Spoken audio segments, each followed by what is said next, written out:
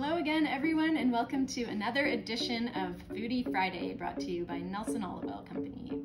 This week we are sharing a chicken recipe. It features our blood orange olive oil and our black mission fig dark balsamic. It's really easy and it's yummy and it's awesome for a rainy fall weekend. Our friend Pete designed this recipe and shared it with us.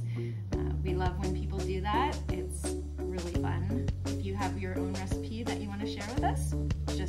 comment below.